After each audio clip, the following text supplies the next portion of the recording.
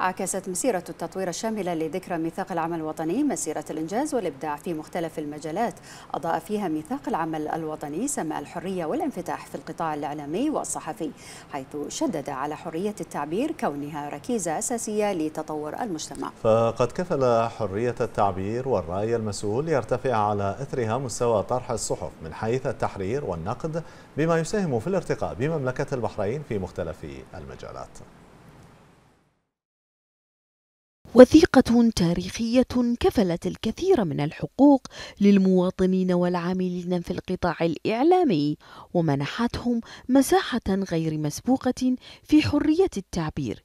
فميثاق العمل الوطني الذي توافق عليه الشعب البحريني وباكتساح في ظل العهد الزاهر لجلالة الملك المعظم حفظه الله ورعاه. شدد على حرية التعبير والنشر والذي أكد عليه الميثاق في البند الرابع ضمن بنوده على أن لكل مواطن حق التعبير عن رأيه بالقول أو بالكتابة أو بأي طريقة أخرى من طرق التعبير عن الرأي أو الإبداع الشخصي. وبمقتضى هذا المبدأ فإن حرية البحث العلمي وحرية النشر والصحافة والطباعة مكفولة في الحدود التي يبنيها القانون. المنظومة الإعلامية شهدت الكثير من التطور في آه، ميثاق العمل الوطني.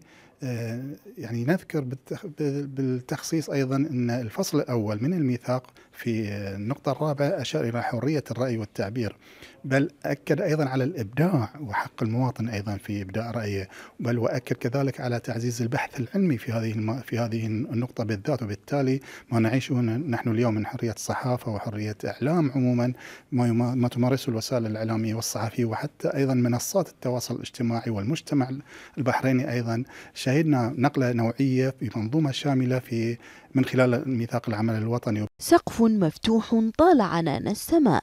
منح الصحفيين والإعلاميين والناس كافة. حرية تعبير غير مسبوقة.